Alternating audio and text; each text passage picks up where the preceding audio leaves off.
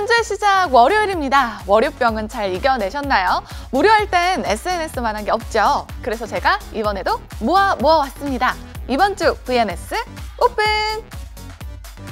첫 번째 사진은요, 바로 대한항공 SNS에 올라온 사진입니다. 이번 winter collection의 첫 번째 주자, 바로 대한항공 박기원 감독인데요. 이번에 대한항공에서 새로 나온 팬스카프를 멋지게 두르고 출근하시는 모습인데 영국 신사 같기도 하고요. 패션과 팬사랑 두 마리 토끼를 한 번에 잡으셨네요.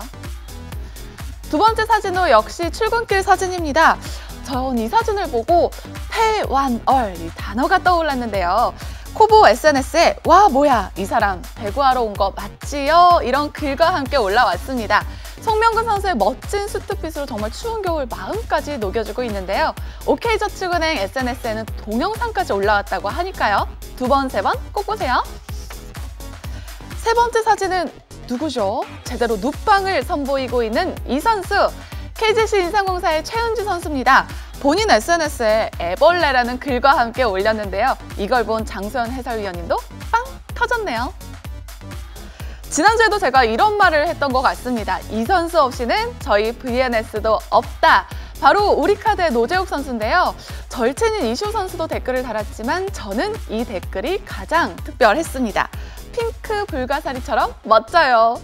노재욱 선수 저희 다음 주 VNS도 부탁할게요.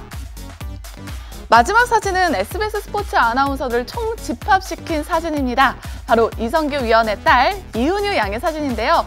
정말 댓글이 많이 달렸는데 이동근 아나운서는 특히 결혼하고 싶다. 그리고 라떼맨 이재영 아나운서는 8세 다리 길이라고 했는데 6세입니다. 이재영 아나운서. 그리고 저랑 26살이나 차이가 나는 은유 양. 너무 예쁩니다. 저도 감탄을 자아내는데요. 이렇게 주간배구 식구들을 대통합시킨 이성규 위원. 그렇다면 이 코너를 안 만나볼 수가 없죠. 팬과 선수를 대통합시킨 이성규 위원. 이성규가 간다? 지금 바로 만나보시죠.